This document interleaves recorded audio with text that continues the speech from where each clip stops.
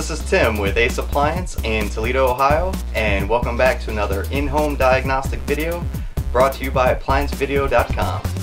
Alright, we are on a Whirlpool gas range, and the complaint is that there's intermittent power to the unit. So the we just pulled it out, checked the plug, everything's hooked up right.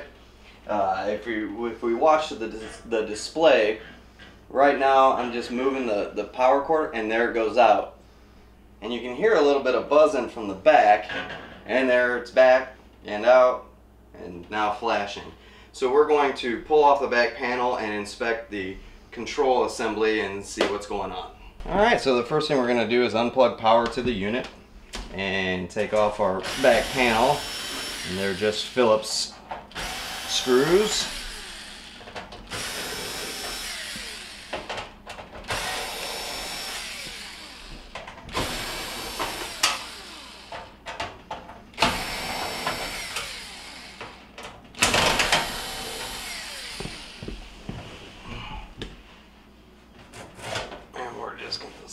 slide this out a little bit. Pull it down. Watch out for the panel underneath there. So now we're at our electronic control and we're just visually inspecting everything on there and checking the connections, see if there's anything burnt, make sure all the wires are in there. Everything looks like it's right. So now we're gonna we're gonna plug it back in and just see if we can wiggle some stuff and see if our, our problem persists. Okay go ahead. All right so right now we have our unit plugged back in and we're just wiggling some wires around just to see if uh, our display continues to be intermittent. Right now everything is staying on and we're just gonna put it into a bake and hit start and check for proper operation. Our, our unit is actually on and, and functioning right now, so it did start up.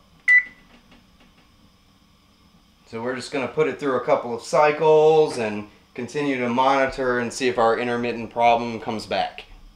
Alright, we're on our Whirlpool range with intermittent power and I have it in the original outlet that it was plugged into and when I move the power cord we can see it it blinking and coming in and out.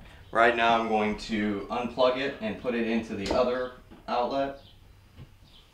And right now we're on constant and I'm, I'm wiggling the, the power cord and all the connections and we're getting no no flickering. So we're going to suggest the customer have an electrician inspect his outlet and if he has any further issues to let us know. Thank you for watching another in-home diagnostic video brought to you by ApplianceVideo.com.